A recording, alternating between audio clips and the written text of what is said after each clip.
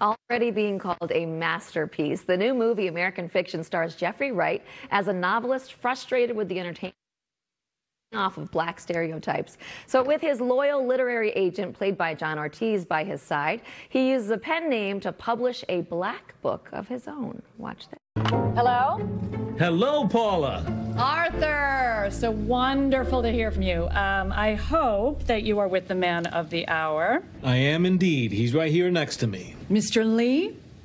Uh, yeah, this is he. Oh, really?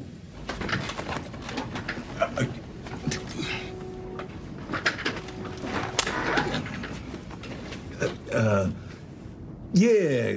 Okay, um, yeah, I was a little confused at first, but and John's with me now. Welcome. Nice to see you. Thank you. Thanks so much for having me. It's I mean, great to be here, back home. Exciting day too. You got the movie just got two Golden Globe nominations, which is so exciting. When you first got this script, did you have a feeling that there was something special about it? Can you tell?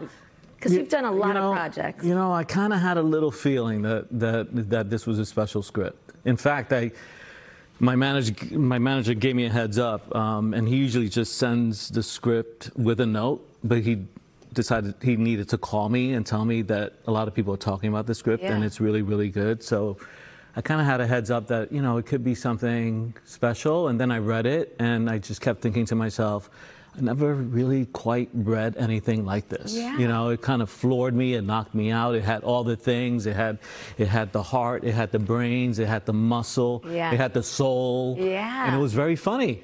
And yeah. jazz. Yeah. So I was like all in. Yeah, you're like check, check, check. Absolutely. And then of course the role. Yeah. And I don't get the chance to play roles like this too often, so I was all in. Yeah, let's talk about your character. Um, so you are Monk's agent, and it, it seems like he is totally on board with Monk lying about who he is for this book. Like, what kind of guy is he? How do you see him?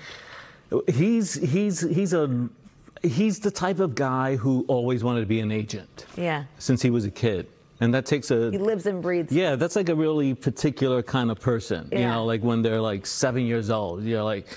Know, most kids want to be the starting shortstop for the New York right, Yankees. Right. You know, the point guard for the Knicks, right? Yeah, like yeah. me. Yeah. This My kid. kids are like that. Yeah, yeah, yeah. that, that totally was me. You know, I just want, you know, and and and it just wasn't in in the cards. Yeah.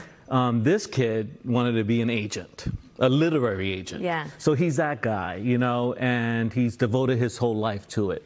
And I think part of what he loves about it is not only making money and closing deals, but I think he's a relationship type of guy. Yes, yeah. He really cares about his clients. So Yeah. that was important to me to be to really lean into the uh, supportive, loyal part. Let's talk about that too, because you, Mm-hmm. you are actually friends with Jeffrey Wright, right? You guys have been friends for a really long time, but you never worked together That's right. before. That's so, right. how did you first meet?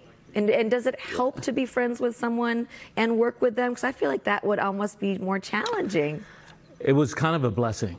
Yeah. You know, um, speaking of lists and aspirations, once uh, I became an actor, you know, I gave up on wanting to be a shortstop for the Yeah, yeah. Yankees. You know, but but the list that I had were actors I want to work with, and Jeffrey was always on there. Yeah.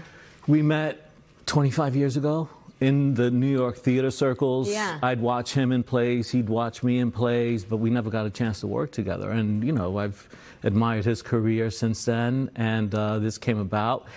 With this project, what was so great about it was that I had no time to rehearse. Oh. Like, I flew in on a Saturday, and I was on set Monday morning. Oh my God, that's stressful, right? It was a bit stressful Yeah. because uh, you know Arthur's got a lot to say. Yeah, And, yeah, you know, yeah. there were a lot of lines there. Yeah. You know, and we didn't get a chance to rehearse, but because I knew Jeffrey, it made it a lot. we just we just were able to like just chill and Yeah. be okay with each other and trust each other and lean into the friendship part of it. Well, that obviously worked because the movie is getting so much attention, rave reviews. You can catch American Fiction in theaters starting this Friday. Thank you so much for stopping by and congrats. Thanks for being here. Yeah. Thank you.